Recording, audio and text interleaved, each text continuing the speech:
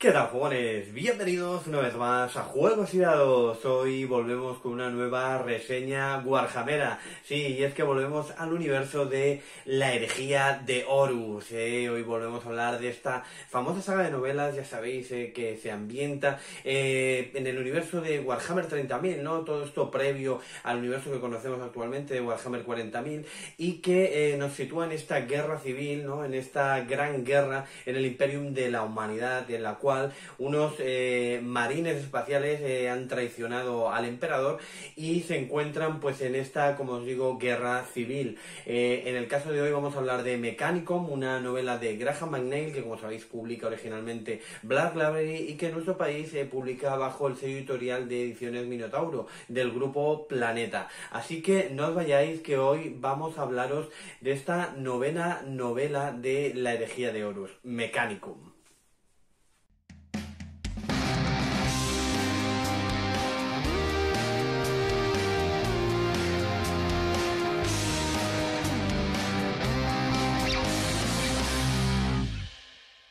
Pues bien, vamos a hablaros de esta novena novela de La herejía de Horus, ¿eh? como se anticipaba en esta previa del vídeo, este, esta novela de Mechanicum de eh, Graham McNeil, y que eh, es una novela dentro de La herejía de Horus un tanto especial, un tanto diferente, ya que ya no tenemos una visión tanto de la vertiente Astartes, ¿no? ya sea de cualquier legión comandada por el emperador, como cualquiera de estas legiones que que, están, eh, pues de alguna manera apoyando a esta tradición de Horus, sino que em, la historia nos sitúa en Marte, ¿vale? En esta ocasión vamos a ir a Marte, vamos a visitar estas eh, forjas, ¿no? del Mechanicus y vamos a ver un poco también lo que son estas legiones, ¿no? Todas estas legiones de titanes que eh, em, poblan este, este planeta tan cercano a Tierra, ¿vale? Al principio de la novela veremos que nos va presentando un poco lo que son estas legiones, ¿vale? Nos, eh, nos, nos muestran, ¿no? Dos, dos caballeros, ¿no?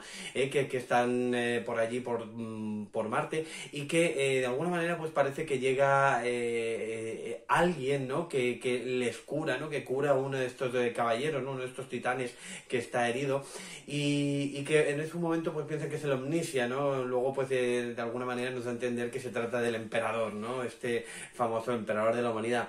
En cualquier caso, esto es una introducción simplemente, pues para para que nos metamos un poco en, este, en esta historia, ¿no?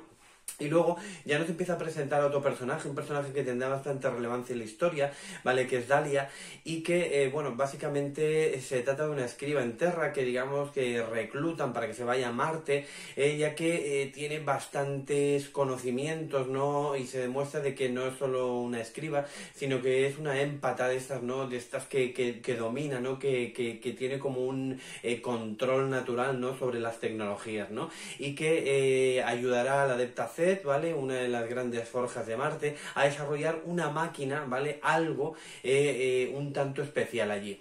En cualquier caso, eh, ese es uno de los personajes, digamos, principales de la historia, pero lo que nos vamos a encontrar en esta novela es ya básicamente cómo llega Regulus, ¿no? Uno de estos emisarios de, de, Horus, y cómo pues ya empieza de alguna manera aprovechándose estas rivalidades que hay propiamente en, en Marte, ¿no? En las diferentes forjas o incluso las legiones de titanes tienen eh, un poco de, rivalidades, ¿no? Eh, pues como la mayoría de legiones astartes, ¿no? Pues tienen estas pequeñas rivalidades, pues empieza a aprovechar de eso y enviado por Horus, pues eh, les promete, les empieza a, pues esto, ¿no? A, decir que les dará una serie de cosas, una serie de ventajas si apoyan a, Horus, ¿no? Aquí representa que ya, pues se ha mm, desvelado, ¿no? Esta traición, incluso en Terra ya están llegando, pues estas eh, noticias ¿no? de, la traición de Horus, pero el emperador se encuentra metido en otros fregados, en otras historias, y en este caso, pues en la guerra civil que se, que se va a desencadenar en No, no toma parte, ¿vale? Envía a los, a los puños imperiales, ¿vale? Los envía para, bueno, para que eh, de alguna manera intenten eh, sofocar una guerra civil que se va a dar, ¿vale? O conseguir el máximo de, de, equipo, ¿no? Yo, ¿vale? Más que O el máximo equipo, ¿no? De, las forjas que, se dedican a la fabricación pues, de armas, eh, armaduras, eh, maquinaria, ¿no? Para los astartes, ¿no? Ya que como se avecina esta próxima guerra, esta guerra tan inminente, ¿no? Entre las legiones, pues deben equiparse bien. En cualquier caso, esta es un poco la posición de Terra, lo que nos encontramos allí es que eh, se empiezan a dar pues estas traiciones, ¿no? Este nacimiento del mecánico oscuro que apoya a, mm, a Horus y que de alguna manera eh, pues se ven pervertidos, ¿no? Se ven llamados por unas promesas, ¿no? Y por unas cosas que Horus les dice que les va a dar, evidentemente, ¿no? A cambio de que le apoyen. Y, y esto hace pues que, que, se, que reine el caos, ¿no? Que se ate una guerra allí. Incluso eh, desatan una como un código viral, ¿no? Una especie de virus que lo que hace es que empieza a destruir, ¿no? Tanto a a diferentes ciudades, empieza a destruir a, mm, titanes, ¿no? De las diferentes legiones leales, digamos, y sería un, pues una, una matraca impresionante, ya que empiezan a, a palmar miles y miles y miles de personas. Eh, durante la historia se va viendo, ¿no? Pues eh, cómo es eh, pues toda esta relación, ¿no? Algo que ya hemos visto en novelas previas, ¿no? Pero se empieza a ver cómo es esta relación de los príncipes, ¿no? De estos eh, comandantes, ¿no? Digamos que gobiernan estos titanes y cuál es su simbiosis, ¿no? Con las, eh, con los titanes, ¿no? Con lo cual es una cosa que está muy divertida. Aquí nos va a presentar varias legiones, la legión Tempestus, nos va a presentar la legión Mortis, que son las que, la legión Mortis es la que se alía, digamos, pues con el bando de Horus, la legión Tempestus es una de las que, pues, queda a favor ¿no? de, los eh, Mechanicum leales, ¿no? Y también, pues, eh, paralelamente nos va presentando todos, todos estos esquitari. Nos va presentando, eh, pues, las diferentes, eh, bueno, pues las diferentes eh, hordas, ¿no? Digamos, que tienen para enfrentarse, ¿no? Para batallar entre estas diferentes forjas, ¿no? Que es un poco lo que vamos viendo. En cualquier caso, ya os digo, una novela en la que vamos a ver pues cómo eh, la población de Marte se autodestruye, ¿vale? Empiezan a luchar entre ellos, empieza a, fraguarse esta guerra civil, hasta que al final la, la adepta Cez, ¿vale? En su forja eh, es invadida ¿no? por esta legio, tem, esta legio Mortis y la legio Tempestus defiende, ¿vale?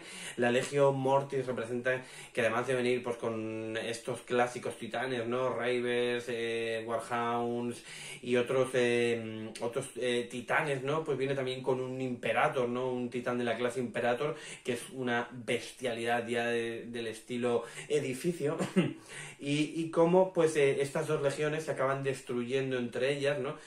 Tempestus a la Mortis acaba sobreviviendo solo este Imperator, pero al final de la historia la, la Adepta Cez eh, ha logrado activar como una especie de autodestrucción de la forja para que los conocimientos no sean robados, ¿no? Prefieren perderlos a que sean robados por este por estos traidores, ¿no?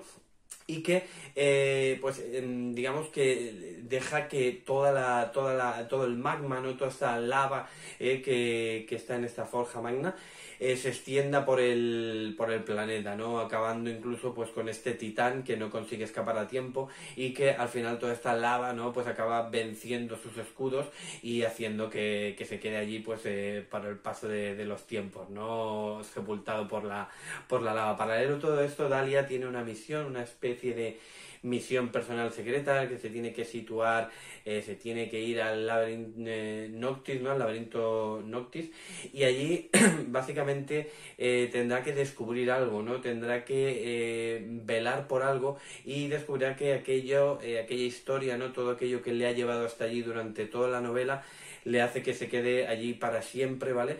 Y, y bueno, es algo que mmm, tampoco quiero dar detalles, ¿eh? Para no hacer, ya he hecho bastante spoiler, pero mmm, que se verá, pues eh, imagino que más adelante, ¿no? En el futuro, ¿no? Este, estos planes, ¿no? Eh, que de alguna manera Dalia va a tener que cumplir allí en Marte.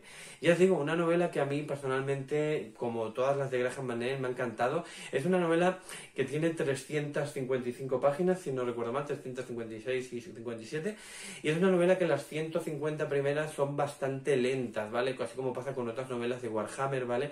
Que nos presentan a personajes, incluso personajes nuevos, y tienen que situarnos de alguna manera en contexto, ¿no? Que, entendamos un poco sus inquietudes y qué es lo que les ha llevado a hacer una cosa u otra, ¿no?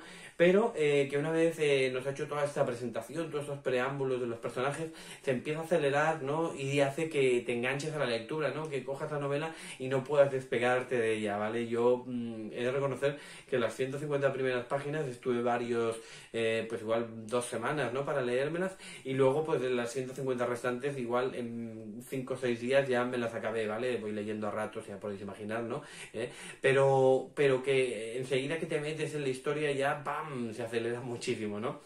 Es una historia que nos presenta muy bien todo esto, ¿no? Yo digo todas estas facciones, el Mechanicum, el nacimiento del Mechanicum oscuro, las legiones, eh, los Esquitari, incluso la Guardia Imperial, que también aparece por allí, ¿vale? Eh, aparecen, pues como os he dicho, ¿no? Estos eh, puños imperiales y, pues bueno, está bien, ¿no? Es una historia que está, pues como os digo, realmente interesante y que no puedo hacer otra cosa que recomendaros, pues este Mechanicum, ¿no? Esta novela, esta nueva novela de la herejía de Horus. Como siempre ya sabéis que vamos a seguir haciendo vídeos, ¿no? Sobre estas reseñas, ¿no? Sobre estas novelas de la herejía de Horus y tenemos para largo, vamos por la novela 9, ¿eh? vamos a comenzar la, décima hora y tenemos, eh, si no recuerdo mal, hasta la 54, la 55, la 56, no recuerdo, ¿eh? hasta cuál está en castellano todavía, pero bueno, son las que vamos a tener y, nada, ya sabéis que aquellos que habéis aterrizado por aquí ahora de nuevo, ¿eh? pues eh, recordar que si os gustan estos vídeos, de novelas, ¿no? Referentes al universo de Warhammer,